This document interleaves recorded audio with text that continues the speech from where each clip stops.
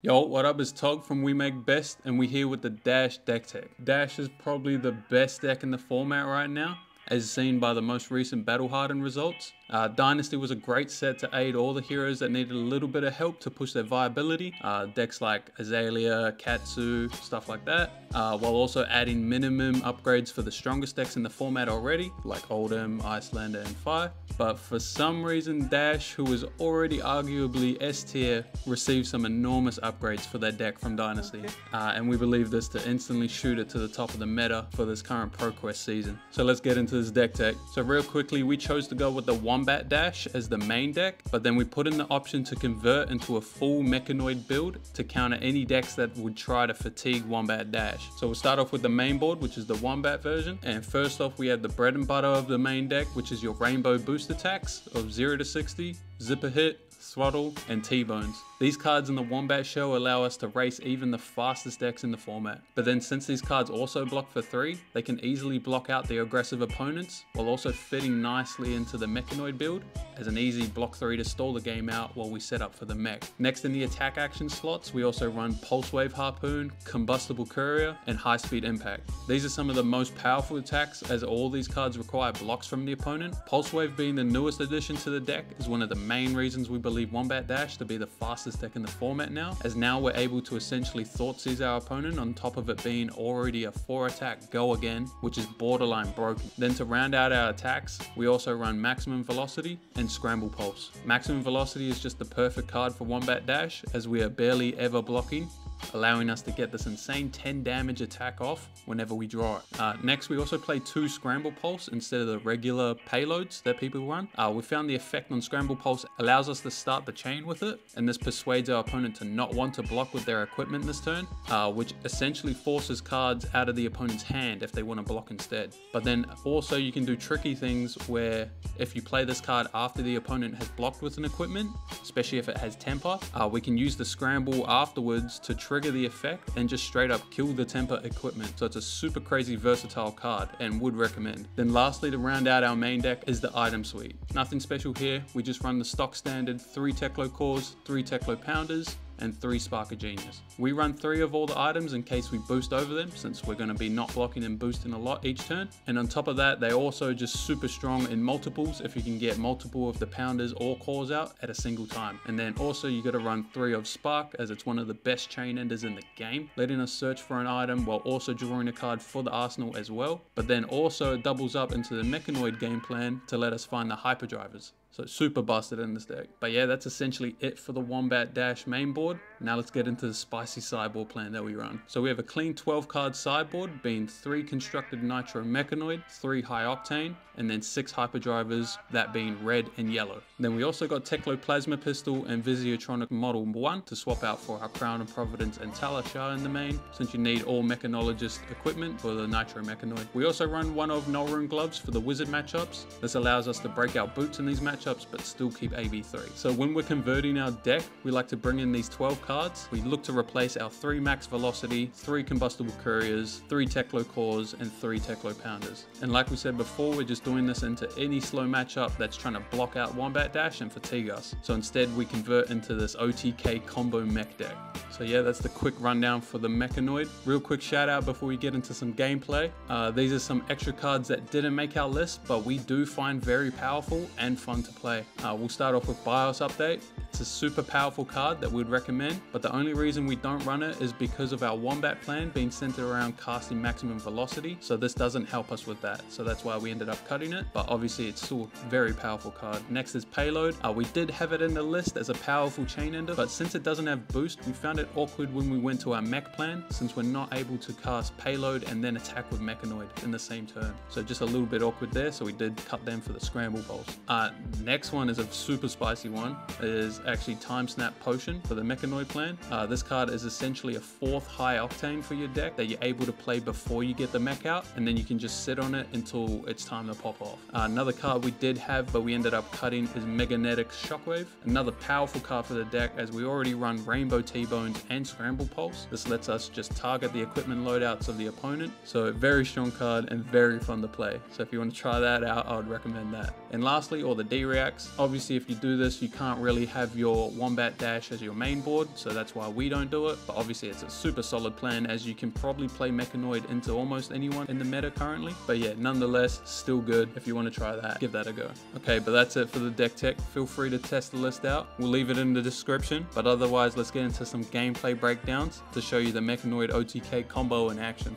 Alright, so let's get into these games. Alright, so we're going to go over two games here since we've got a transformative deck. Uh, we're going to start off with the Mechanoid because it's fucking dope. And then after this, we'll show you how to play the main deck, which is the Wombat Dash, and just show you exactly how powerful that is as well. But yeah, so let's start it.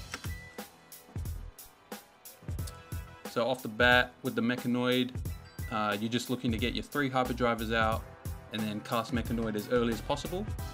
Uh, not really looking to boost with any cards, so we're happy to block with everything.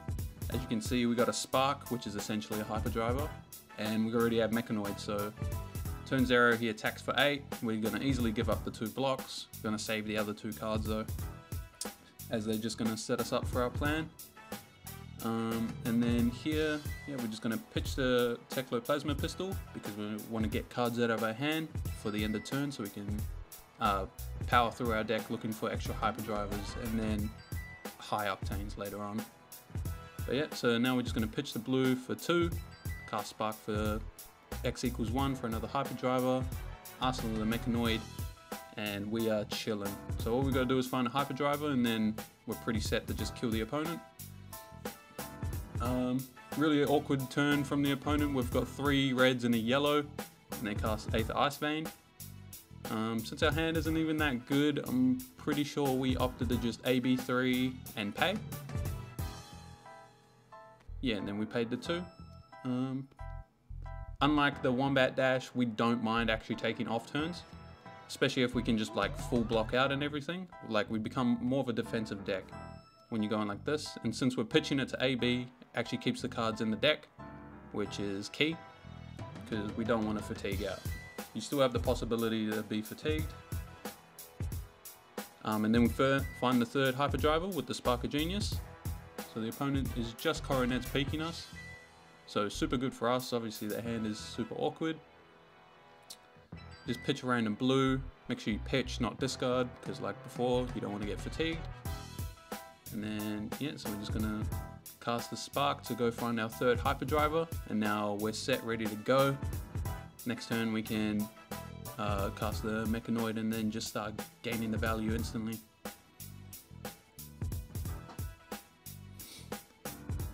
Um, so yeah, back to the opponent. The opponent casts a Lightning Strike for a go again.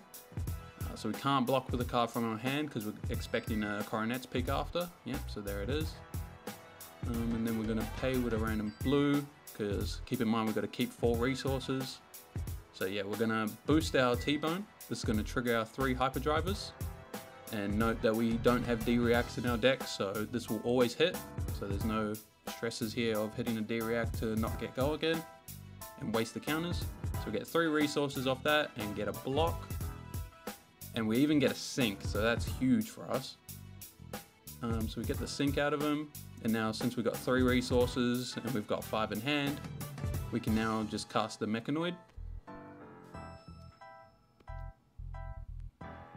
So casting the Mechanoid, pitching the Hyperdriver. And then we get to just smack them in for 6 overpower at the end of every chain from now from now on until the end of the game. Also note that it has 5 block with temper. And so the value's already starting. And a key thing to note here is we do sack our AB to the Nitro Mechanoid, but we've found that it's absolutely worth it. Like the power level of this card is just insane.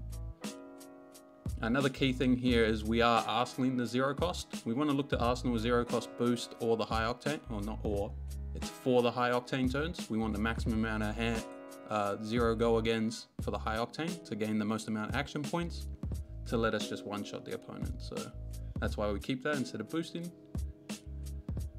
Um, but the opponent does cast a yellow Aether Ice Vein, so a little bit awkward. Um, didn't quite catch what we are doing there. Looks like we took four and then just discarded a card because we want to turn the corner and just absolutely race the Iyslander now since we have the Mechanoid out. Um, and then, yeah, so we're going to pitch the yellow, attack with Zipper Hit, And then I'm guessing we're gonna go T-Bone, follow up with Harpoon, take their best card out of their hand, and then follow that up with Mechanoid was the plan. Uh, but the opponent has Channel Lake Frigid, so a little bit annoyed with that, but that's fine. So the Mechanoid attack is gonna cost two more, which makes it cost two. But lucky for us, we have two, two resources floating, so not bad. We still get to attack with the Mechanoid after the Zipper. And Zipper's still coming in for five, so we gotta see if they wanna block this. Looks like no blocks, but the opponent does cast a Blizzard there, which I don't think we mind. Like, we're happy. Because if he doesn't want to block this, he's still going to take five, and we're happy with that. We opt not to pay because obviously the Channel Lake and the Frostbites are still in our way, so we can't attack with Nitro. Anyways. Then it looks like the opponent activates Tunic because they want to Waning Moon us. That's fine, take three. And then they opt to take four, just so they can keep a card to peek us and Arsenal. So they can keep around their Channel Lake. Makes sense, makes sense. Uh, another bit of an awkward hand. All reds against this Channel Lake. Um, oops, sorry about that. Um, looks like we do just pay one to the Coronet's Peak with the throttle since it's the most expensive card in our hand. Probably not going to be able to play it through the Frostbites and Channel Lake. Um, here it's a little bit awkward which card exactly we're going to play. Um, I'm guessing we can send the zipper hit, pitching a red. And then you got one floating if they give us a thing, uh, but they've still got the channel lake, so maybe we've got to attack with a T-bone. But even then it's a little bit awkward. I don't mind attacking with T-bone from Arsenal though, yeah. I'd probably try and keep the T-bone in our hand. But yeah, we're gonna attack for one here. So if the opponent gives us a Frostbite, we can still pitch the two reds to attack with Nitro. Um, if they don't though, we can pitch to Nitro just with one of the cards, keep the zero I'd prefer. Yeah, so we keep the zero, and then we still get to attack with the Nitro, pressure their hand, take, they just instantly take six, so I'm a little bit scared to what the opponent's gonna present. Um, still no high octanes though, but as you can see, we're still pretty healthy, not at risk of dying yet. Um, and then the opponent casts an Ice Eternal for X equals 3. So that's a lot of frostbites there. Uh, we have to take the 3 damage. And then they just pass back to us. Note that there was double ice, so I see why the opponent held it there. Because they get to keep out the channel lake. But the thing is, we get to keep out our whole hand there, so we can actually play through those frostbites in the channel lake here. The opponent from their hand, from arsenal, plays Polar Blast. Obviously, we got to pay one. We don't want to give attack their attacks dominate on our turn. but no, that's fine. Um, but yeah, so we take the frostbite. Um, we're attacking for four. Looks like they mooned us as well, so we got to take the three. Uh, we'll see how the opponent wants to deal with the four damage presented. So they do sink it, but I think we punish them for that with the Nitro Mechanoid. So sure, that's fine. Now we can pitch the yellow to pay through the Frostbite and the Channel Lake to attack for six again. Still keeping this red T-bone in our arsenal, just for when we find the high octane. So still no high octane, but as you can see, we're still winning the race through all this disruption. It's just how strong this Mechanoid is. Um, the opponent opts to attack us for 7 with their Enlightened Strike because they've already got an Arsenal card, so that makes sense. Um, but yeah, since it's an attack, Nitro can actually block for 5. Remember that, so just chuck the 5 block in front, take 2. And again, we get to keep a full grip. Note also that Channel Lake Frigid is dead, so we don't have to play around the extra resources now, which is super good for us. Opponent's activating Spring Tunic to block with Ironhide Gauntlets. Expecting another two block maybe? No, they only want to block two. So it looks like they're trying to keep their hand here, but they are giving us Dominate. Though obviously it's a correct decision for them because we don't really have good follow-up. Ah, but the opponent follows up with a Hypothermia. So we get the hypothermia out of him, and then we find our high octane. So pretty lucky for us. Um, looks like we're going to be able to full combo them next turn. But the hypothermia does shut down this deck if we don't have the high octane out for the extra resources. So kind of annoying, but good that they used it there. But yeah, so we use the Mechanoid to block out the four from the Scar for Scar with Go again, and then they follow up with a Wounded Bull. So this one is going to put us into very low territory to where maybe the Iyslander is able to kill us in response. So probably am looking to block three of it. Because if we take eight and we go down to seven, we die to any four damage in Waning Moon, which is a lot of their deck.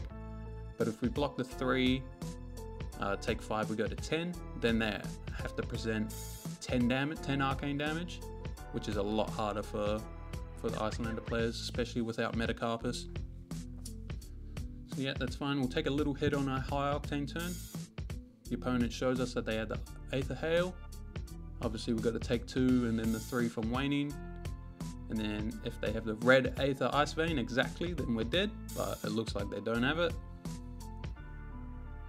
So super good for us. And then now we just have the high octane and then three go against spells to gain us three extra action points. So we're gonna attack for three, attack for two here, boost again, get another action point. We got one floating from the blue pitch, so we get to attack with Zipper go again, boost it for another another action point, while also coming in for five.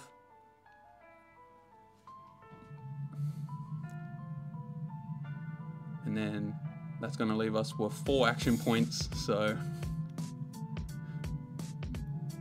And the opponent does sink below this as well, so I'm pretty sure the game is done done.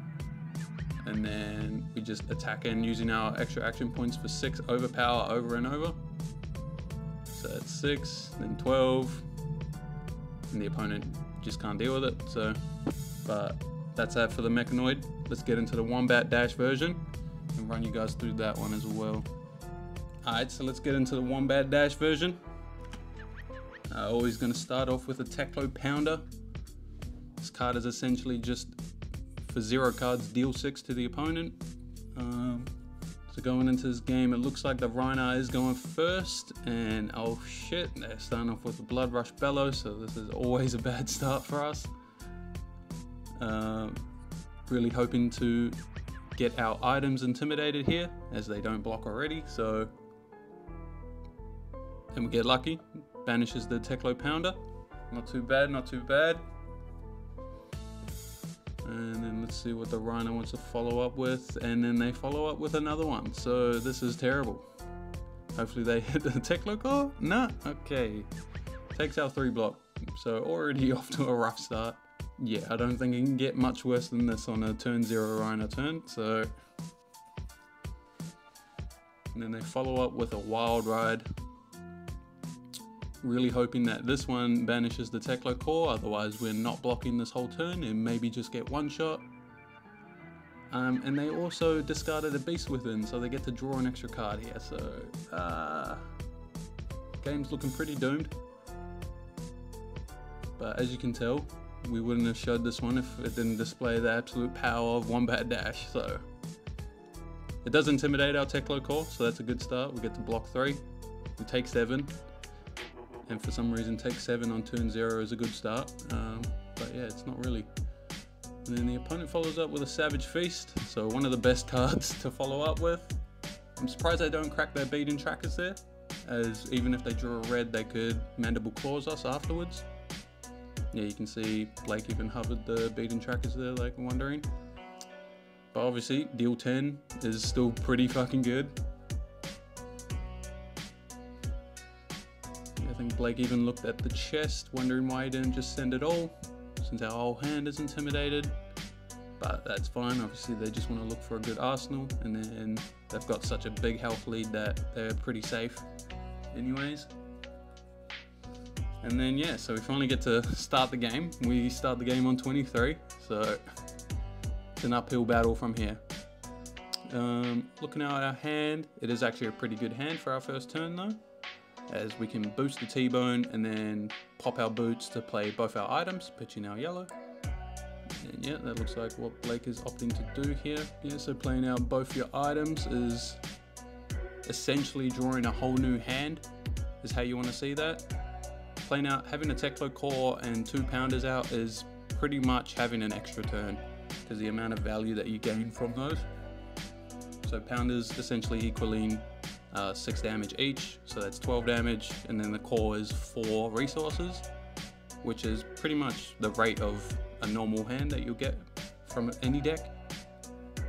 So that's why we opt to instantly play both of those, even though our turn's pretty low value, just 5 damage. Then the opponent follows up with another strong turn. They go blue barraging into a red pulping.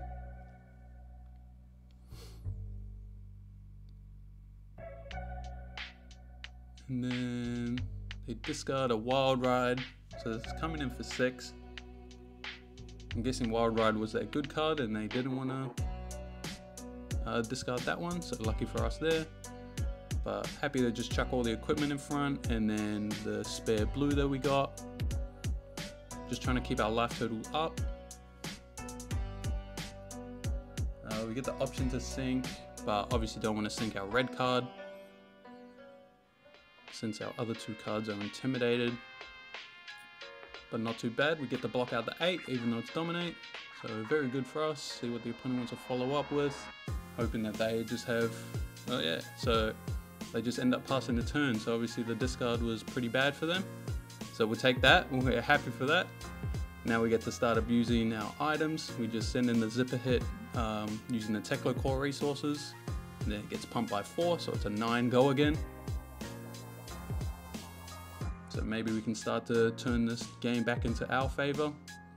As you can see how strong this Wombat Dash is, as soon as you get some items out, even when we're down 20 health, uh, if the opponent stumbles once, we're allowed to take back that advantage. Even off a three card hand, as you can see. It's absolutely insane.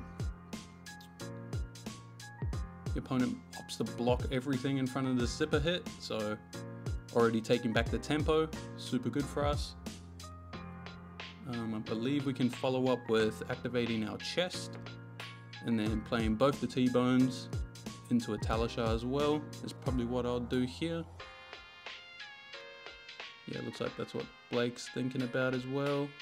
So we just send both the T-bones in.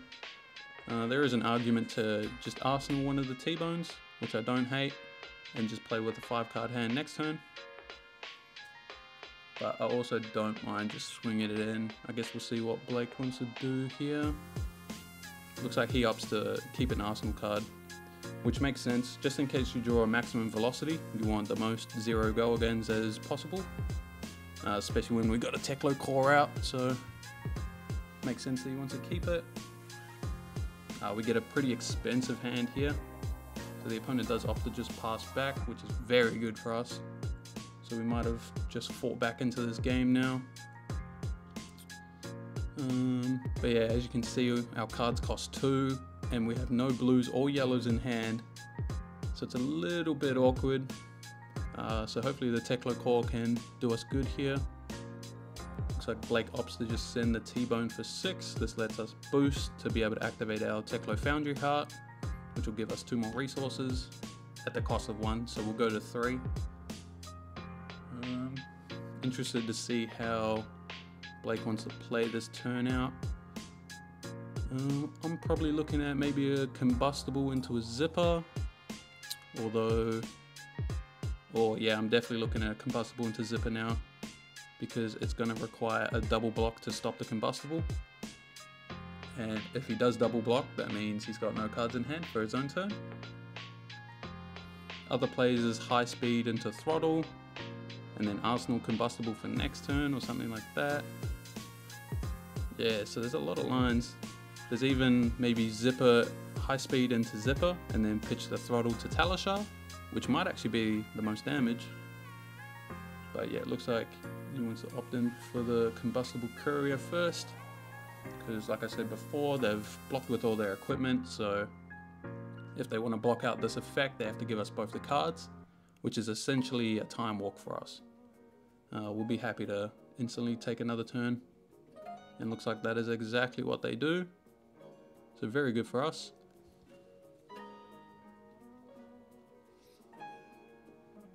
Ah, interesting. So then he uses the one floating and one of the reds in hand to cast the throttle and box in for six. Uh, he didn't need a boost there though, so small little minor misplay there, but that's alright. Shouldn't matter too much. So now not only have we equalized the game, uh, we've also taken the tempo of the game as well. So the opponent is looking to block out as much as possible and try to take the turn, try to take the tempo back with a big turn. But as you can see, our, this Wombat Dash is just way too consistent. All our hands are just presenting 20 plus damage every turn. Uh, so we're going to start off with Scramble Pulse, just smack them in for 7 with the Teklo. Uh, one floating, so we're going to use that one floating to activate Chest. Chest gives us two resources. So probably looking at a high speed into a zipper, into a Talishar activation. Or maybe Arsenal the throttle. We'll have to see what uh, Blake wants to opt in for. Because like I said before, usually you want to keep your arsenal just in case you draw a max velocity and just have the highest chance of being able to actually cast it. As if you cast a max velocity, usually the game is just over. Like whether they block it out or not. Most of the times they can't though. So yeah, looks like they took four from the high speed and then five from the zipper as well. So we get the Arsenal, the blue throttle. Not the best Arsenal, but it's an Arsenal, so maybe it does help to cast max velocity if we draw it. Looks like we're checking the banish for max velocities. As you can see, there's only one banished. So high chance to draw one, but we don't draw one. But still the hand's pretty good. We got six resources and we got six cost worth of cards that we want to play. So always a good start. To the opponent, looks like they cracked their Barkbone uh, they whiff on it, so they gain zero resources. And then they opt to cast the Berserk. Is this just to... Uh, looks like they absolutely whiffed it, so painful for the opponent. That might just be game breaking or game ending for them, as they've already stumbled once in the game before, and then as you can see, we took the whole tempo in the play. Yeah. So as you can see, uh, even when we start 20 life lower, Wombat Dash is not only able to catch up to the life difference, but we're actually able to just take the entire tempo of the game, especially if they stumble on themselves as a Rhino.